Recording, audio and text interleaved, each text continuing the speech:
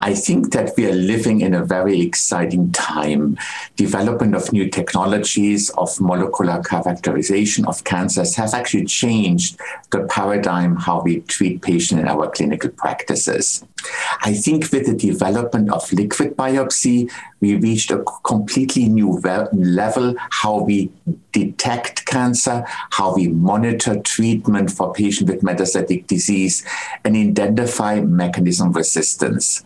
I think liquid biopsy will change again the way we uh, diagnose patients, how we treat them, monitor, and switch treatment.